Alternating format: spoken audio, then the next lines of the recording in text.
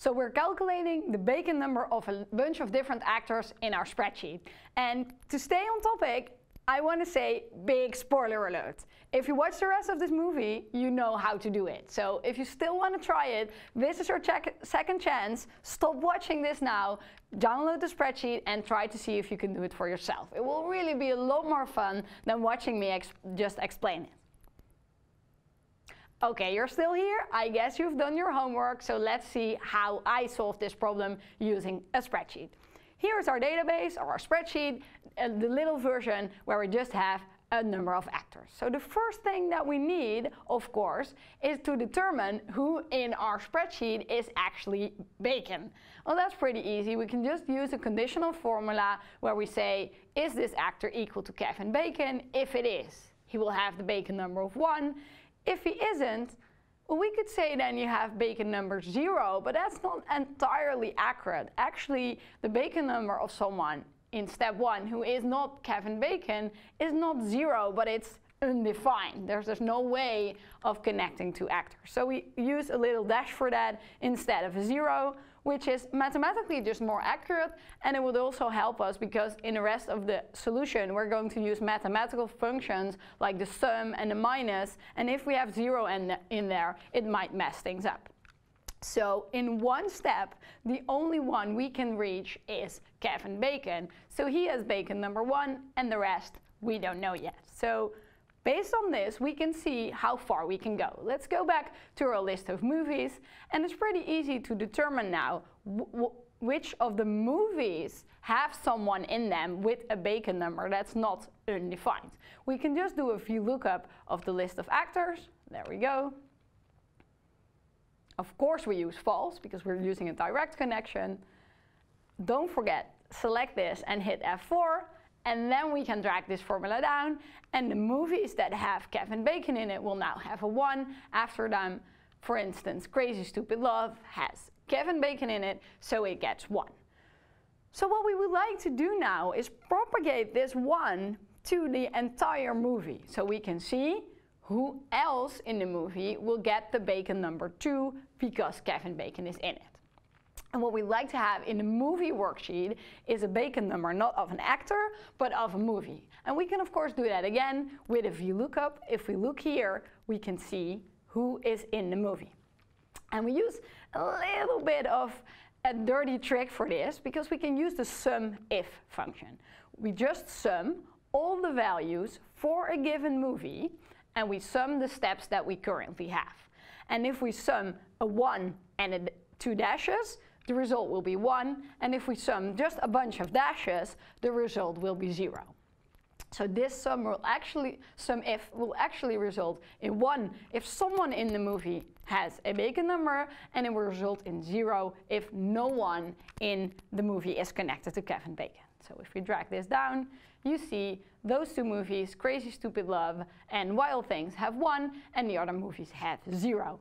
So we are slowly getting there because we know now in one step what, what actor, Kevin Bacon, and what movies can I reach. So we can continue this in a second step.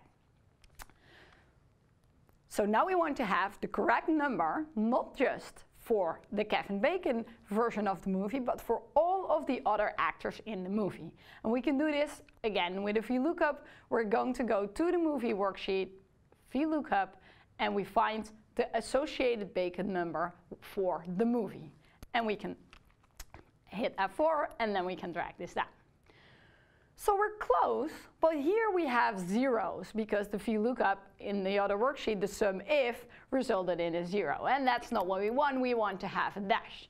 So let's see, if this VLOOKUP is equal to a dash, then the result should be another dash oh, I'm sorry, if it's equal to zero, it should be another dash. And otherwise, it should be equal to the VLOOKUP, but plus one, because Kevin Bacon, Bacon's number is one, and everyone who has been in a movie with him should get the number plus one. So now we have the right numbers in the right line for all the actors. And if we just get this in, in the actor worksheet, we will have the correct calculation. So there we go. Step two, what we can just do is use another VLOOKUP and we're going to look for the actor And now we take the fourth column, the D column, because there we have everyone who has been in a movie with Kevin Bacon will have two, and the others will have a dash. So this is almost correct. We see that those people that have it two are indeed the ones who have been in a movie with Kevin Bacon. So it almost works. There's just one thing that's still a little bit strange is that in the second step, Kevin Bacon now has two. And that's because we went from him to Crazy Stupid Love and back. But that's not really fair because he already had the Bacon number of one. So what we really need to do is take the minimum of what we have already calculated and what is in this extra step. And you see that in a previous video I forgot to hit F4 there, so I have corrected that now as well. So we see Kevin Bacon now has one, all the others have two, but unfortunately because of the use of the minus operation, we now get an, an error value. I don't know why this is, but if you have two minuses, if they're in different worksheets, apparently Excel gives an error. So we add an if error around it. If we get an error, then we write a dash, and otherwise we use the minus. So we have done it. Now for one step we've calculated one Kevin Bacon and everyone that has been in a movie with Kevin Bacon now has Bacon number two.